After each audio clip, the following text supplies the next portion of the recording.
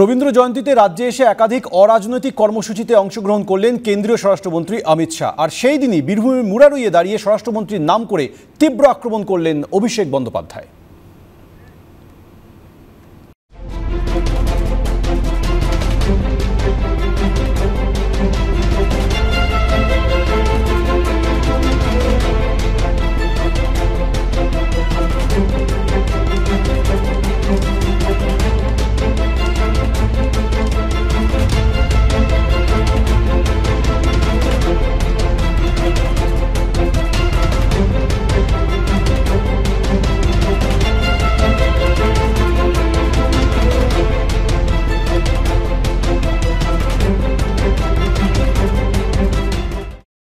বাবুরা গরু চোর ধরতে বেরিয়েছে। আর বিএসএফ ইডি বলছে যে গরু চুরি করতে প্রত্যক্ষ আর পরোক্ষ মদত দিয়েছে বিএসএফ বিএসএফ কার অধীনে? অমিত শাহ। ক্ষমতা আছে অমিত শাহকে ডেকে জিজ্ঞাসাবাদ করবে? এই বিএসএফ কার অধীনে? বিএসএফ স্বরাষ্ট্র দপ্তরের অধীনে। স্বরাষ্ট্রমন্ত্রীর নাম কি? অমিত শাহ। তাহলে বিএসএফ মদত দিয়ে গরু পাচার করে যে টাকা রোজগার করে সেটা অমিত শাহর কাছে যায় না, তার ছেলের কাছে যায়। কে প্রশ্ন করবে? কেন্দ্রীয় সরকার, ভারতবর্ষের এই মুহূর্তে শাসক দল বলে যে বিজেপিকে আক্রমণ করছেন, তারা কেউ কোনোদিন বলেনি যে কোনো সরকারি দফতরে কোনো বিচ্যুতি নেই। এই মুহূর্তে বিএসএফ এর একজন উচ্চপদস্থ আধিকারিক, জেলবন্দি, অনেকজন সাসপেন্ড হয়েছেন, পানিশমেন্ট ট্রান্সফার হয়েছে এবং বেশ কয়েকজনের বিরুদ্ধে তদন্ত চলছে। কয়লাকাণ্ডেও বেশ কয়েকজন সরকারি অফিসারকে গ্রেপ্তার করা হয়েছে। সুতরাং এদের দুর্নীতির কথা বলে বিএসএফ এর দু একজনের বিচ্যুতির কথা বলে, আজকে তৃণমূল তাদের প্রাতিষ্ঠানিক দুর্নীতি আর লুট থেকে, মানুষের দৃষ্টিকে বা আলোচনার কেন্দ্রবিন্দু থেকে মোড় ঘুরিয়ে দিতে পারবেন না। বিএসএফ এর আধিকারিক আগেই গ্রেপ্তার হয়েছে, নতুন কোনো খবর নয়।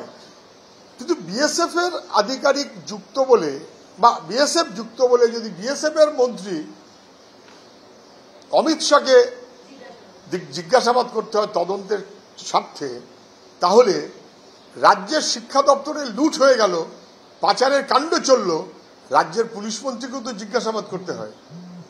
সেটা বলার ধক আছে না কেউ?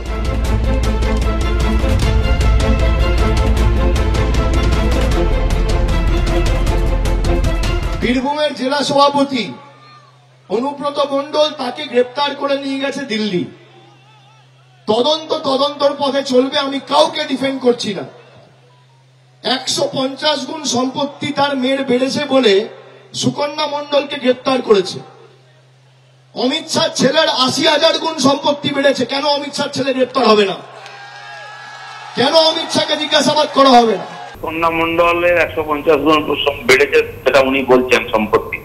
সুকন্যা মন্ডল কি ব্যবসা করতেন? গরুর ব্যবসা করতেন বোধ হয় সেটা তো বেআইনি আর সেই জন্য ইডি ধরেছে অমিত শাহ ছেলের কথা বলছেন। অমিত শাহ ছেলে ব্যবসা করে, অমিত শাহ ব্যবসা। বরঞ্চ অভিষেকের কি ব্যবসা আছে? বারো কোটি টাকার বাড়িতে থাকে। তো কালীঘাট কিনে নিল ওরা। ওদের পরিবারে কি ব্যবসা ছিল? ট্রাক্টার ব্যবসা ছিল কিসের ব্যবসা ছিল? এত টাকা কোথাও ঝুপড়ি থেকে এত বড় বাড়ি কি করে? বীরভূমে নবজোয়ার কর্মসূচি শুরুর দিনে চূড়ান্ত বিশৃঙ্খলা। অভিষেক বন্দ্যোপাধ্যায় বেরিয়ে যেতেই কর্মীদের মধ্যে শুরু ব্যালট নিয়ে অশান্তি। পরিস্থিতি নিয়ন্ত্রণের রীতিমতো হিমশিম খেতে হলো পুলিশকে।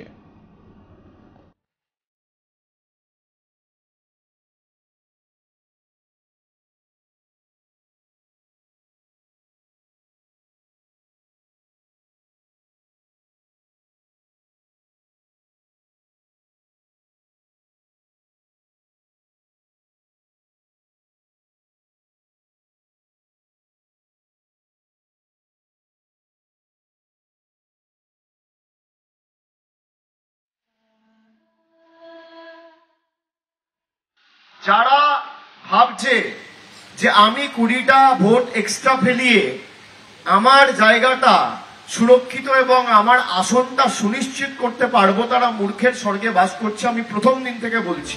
এটাই আসল টিএমসি, নতুন টিএমসি। কোনো নিয়ম শৃঙ্খলা নেই কত নীতি নৈতিকতা নাই। ব্যাস, মারপিট, লুটপাট।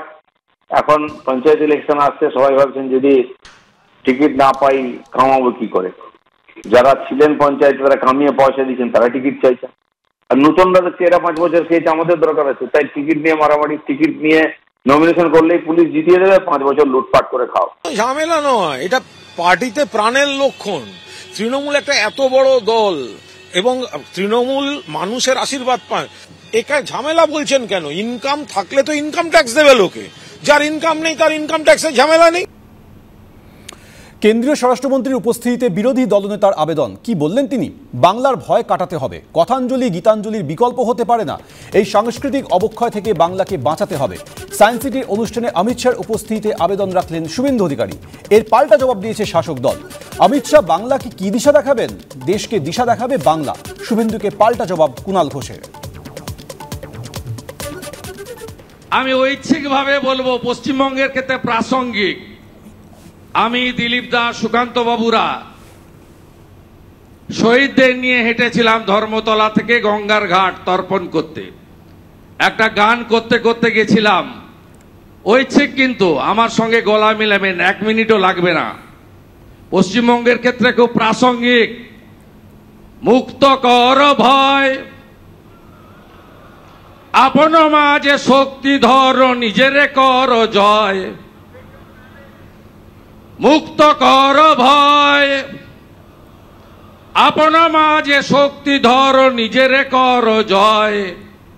বাংলার ভয় কাটাতে হবে। ভারতকে শ্রী শ্যামাপ্রসাদ মুখার্জির বাংলা। কথাঞ্জলি গীতাঞ্জলির বিকল্প হতে পারে না। কথাঞ্জলি গীতাঞ্জলির বিকল্প হতে পারে না। এই সাংস্কৃতিক অবক্ষয় থেকে বাংলাকে বাঁচাতে হবে। বাংলার মাটি, বাংলার জল, বাংলার বায়ু, বাংলার ফল। পুণ্য হোক পুণ্য হোক পুণ্য হোক এ ভগবান, এর বিকল্প হতে পারে না। এপাং, ওপাং, ঝপাং, আমরা সবাই ড্যাং ড্যাং। বাংলা ভয় মুক্ত এবং আত্মসম্মান নিয়ে লড়ছে বলেই দু হাজার একুশ সালে নরেন্দ্র মোদীজি, অমিত শাহজি সারা দেশে ওদের যত জি জি জি জি জি, তাদের ডেলি প্যাসেঞ্জারির পর মুখে ঝামা ঘষে বাড়ি পাঠিয়ে দিয়েছে। এবং সেই জন্যই এত প্রতিহিংসাপরায়ণ, বৈষম্যমূলক আচরণ করতে হচ্ছে। অমিত শাহজি কি বাংলাকে দিশা দেখাবেন? এটা বলতে শুভেন্দুর বাদলো না বাংলাকে দিশা বাংলা দেখাবে। দেশকে দিশা বাংলা দেখাবে। যেখানে বাংলাকে দিশা দেখাবার জন্য সারা দেশ থেকে অনুরোধ আসে, যেখানে সারা ভারতবর্ষের রাজ্যগুলোর মধ্যে কেন্দ্রীয় সরকারের কাজের রিপোর্টে বিভিন্ন বিভাগে পশ্চিমবঙ্গ এক নম্বর হয় সেখানে গুজরাটের কোনো নেতাকে বলছেন, দিশা দেখাও। এর আত্মসম্মান বলে কিছু আছে? নিজের অ্যারেস্ট হওয়ার ভয় সিবিআই এর এফআইআর নেমড একটা প্রতিষ্ঠিত তোলাবাজ মেরুদণ্ডহীন কুলাঙ্গার, সেই জন্য ও ওদের জুতো বালিশ করতে যাচ্ছে। এসব কথা বাংলার অপমান। পুরুলিয়ার চারটি থানার আইসি বদল, ঝালদা, জয়পুর, পুরুলিয়া, মফস্বল এবং সাঁওতালদিহি থানার আইসি বদল। ঝালদা থানার আইসি সঞ্জীব ঘোষকে পাঠানো হলো রাজ্য পুলিশের এসটিএফে তপন কান্দু খুনের মামলায় জড়িয়েছিল ঝালদার আইসি সঞ্জীব ঘোষের নাম। তপন কান্দু খুনের ষড়যন্ত্রে সামিল থাকার অভিযোগ করেছিল নিহতের পরিবার। ঝালদা থানার নতুন আইসি হলেন শিবশঙ্কর সিংহ। ঝালদার পাশাপাশি পুরুলিয়ার আরও তিনটি থানার আইসি বদল হয়েছে। জয়পুর থানার আইসি মহাকাশ চৌধুরীকে পাঠানো হলো ব্যারাকপুর পুলিশ কমিশনারেটে। সাঁওতালডিহির আইসি প্রসেনজিৎ দাসেরও ব্যারাকপুর পুলিশ কমিশনারেটে বদলি হয়েছে। পুরুলিয়া মফস্বল থানার আইসি সঞ্জয় কুমার চক্রবর্তীকে পাঠানো হয় শিয়ালদা জিআরপিতে।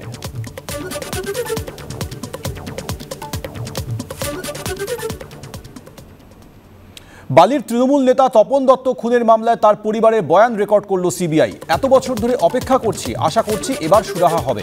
হাইকোর্টের ওপর ভরসা রেখেছি সিবিআই এর ওপরও ভরসা রাখব। অপরাধীদের কঠোর শাস্তি চাই। পুলিশ সিআইডির ভূমিকায় অসন্তোষ প্রকাশ করে মন্তব্য নিহত তপন দত্তের পরিবারের। হ্যাঁ মামলা তো নিয়ে নিয়েছে অনেক দিনই হাতে, প্রায় চার মাস হয়ে গেল। তা যে, যা ওনাদের কাগজপত্র দিচ্ছিলেন না, স্টেট সেই জন্য ওনাদের অনেকটা দেরি হয়ে গেছে নিতে। ঠিক আছে? এবার আস্তে আস্তে আমরা দেখুন আমাদের যেগুলো জানানোর আছে সেগুলো আমরা তো জানাবোই ওনাদের। হ্যাঁ আমরা তার মধ্যেই কিছু কিছু কথা ওনাদের সাথে আজকে বললাম। অনেক এভিডেন্সের মানে কি বলব মানে আগে যারা ইনভেস্টিগেশন করেছে এবার সিআইডি বলুন বা আমাদের বালি থানার যে পুলিশ ছিল তাদের অনেক গাফিলতি রয়েছে, যার জন্যই এতটা ডিলে হয়েছে, এইটুকুনি আমরা বুঝতে পারলাম। এগারো বছর পর রায় পেয়েছি, সিবিআই তদন্ত হবে। ওনারা রায় পাওয়ার মানে কোর্টের রায় পাওয়ারও সাত আট মাস পরে ওনাদের হাতে অর্ডার কপি এসছে। ওনারা তার আগে অনেকবার এভিডেন্স চেয়েছিল, কিন্তু যেগুলো ওনাদের হাতে তুলে দেওয়া হয়নি। স্টেটের যারা আছেন তাদের হাত থেকে।